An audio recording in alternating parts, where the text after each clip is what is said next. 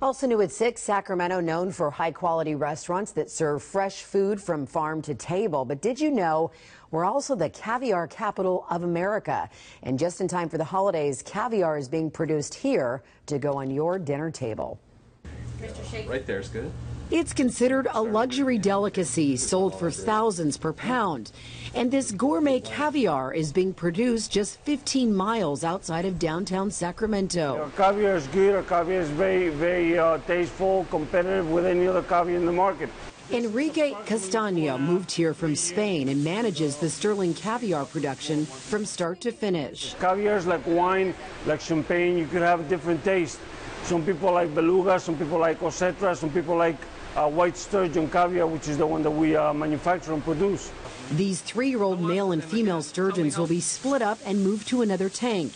And eventually, their harvested eggs are stored here in coolers. After eight years of work, this is the final product. The flavor is going to, like I said, it's going to be a range of a creaminess, almost almost like a buttery flavor to it. It'll also have a little nutty to it sometimes.